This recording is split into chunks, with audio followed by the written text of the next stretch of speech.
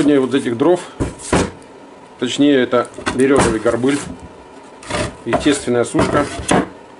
Годик, наверное, чуть больше полежал. Занес я его с улицы. Он у меня где-то, наверное, больше недели полежал возле батареи, чтобы немножко досох. То есть здесь все это естественные сушки. Вот из этих дров будем делать очередное изделие. Сейчас начинается самое муторное. Фугование всех этих конструкций. И клеить будем щиты. И уже из щитов начнем делать. Ну, погнали.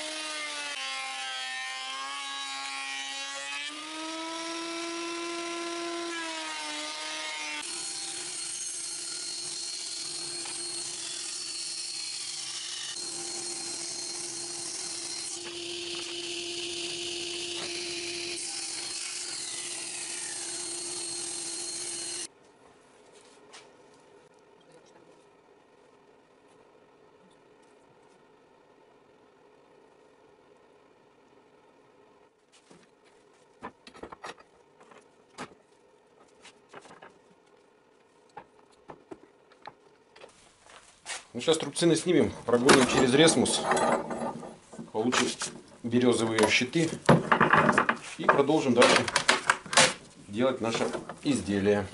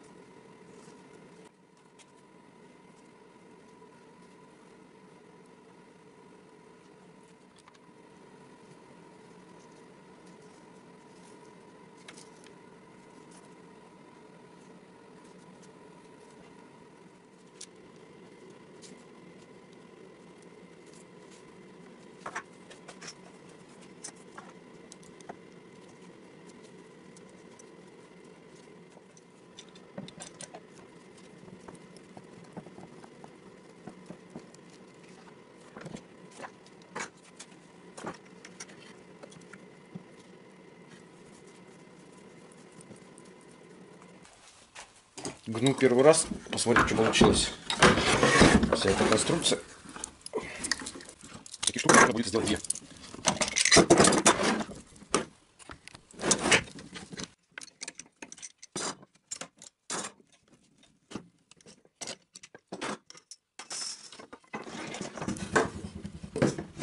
Вот такая получилась штукенция.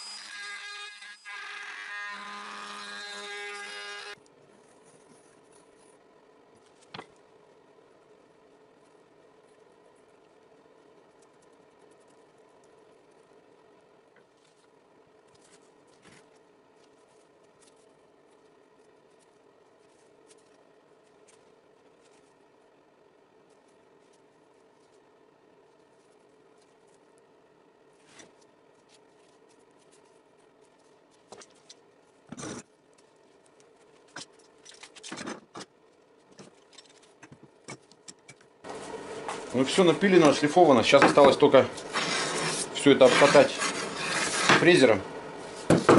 И будем собирать коньяку. Погнали.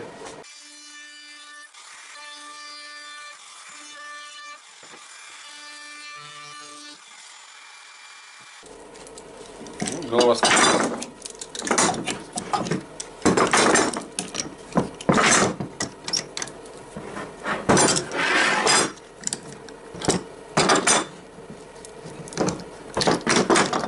Вот такая получилась голова сэндвич. Приляпнем к телу. Ну, как-то должно получиться вот так. Ориентировочно. Ну а дальше все по ходу дела. Продолжаем собирать коника. Предварительное отверстие насверлил. Сейчас по ним отметим.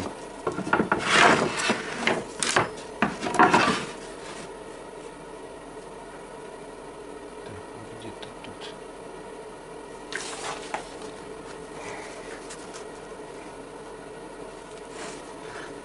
Ну, Сейчас эти точки засверлимся.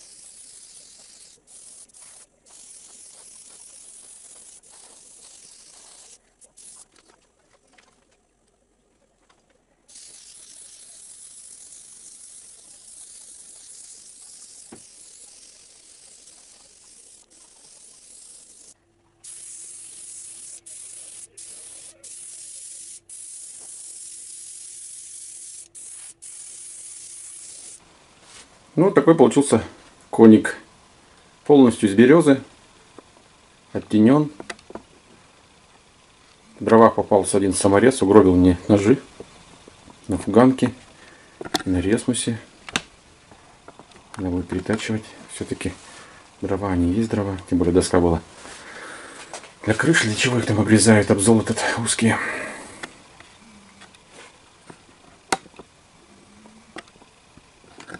Вот так получилось.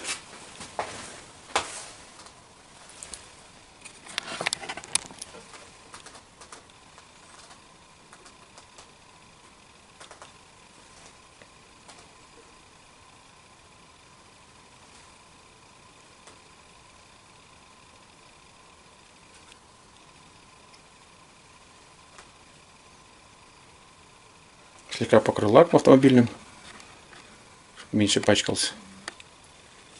Качается хорошо. То есть я уже пытался его раскачать, он вроде не переворачивается, если еще будет ребенок сидеть. Тут вопрос еще стал о а, подставке для ног. Ну, вопрос решим. Скорее всего, здесь будет, может быть, ремни стоять. Типа такого. Потому что неизвестно, на какой рост будет, чтобы здесь эти рога тоже не торчали, потому что это тоже не очень есть хорошо. Ну, а так вроде бы удобно. Все обычная береза, проще реально не придумаешь. Трафаретов ничего у меня нету, просто рисовал головы. Склеенные щиты березы, обогнаны фрезером и все, покрашено. Все простенько. Модель такую можно поискать в интернете, я думаю, ничего особенного сложного нет. Главное, вот эти вот, все это не из фанеры. Хотя из фанеры мне приходилось делать лошадей, но что-то они мне не очень понравились. Здесь все полностью береза, массив, она хорошо шлифуется. Любую форму придаешь. В отличие от березы, там нигде нет этих торцов с пустотами, с красками. Ну, еще есть фанера водная, та вообще вредная, стойкая. Здесь как бы по экологичности.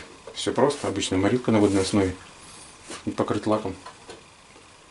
Короче, никаких формальдегидов здесь нету. Ну, друзья, если вам эта вещь понравилась, ставим лайки. Если есть какие-то вопросы, задавайте. Подписываться не забывайте если все-таки эта вещь вам понравилась. Вот такие вот пропорции приблизительно коника относительно меня. Он достаточно небольшой, но так вот.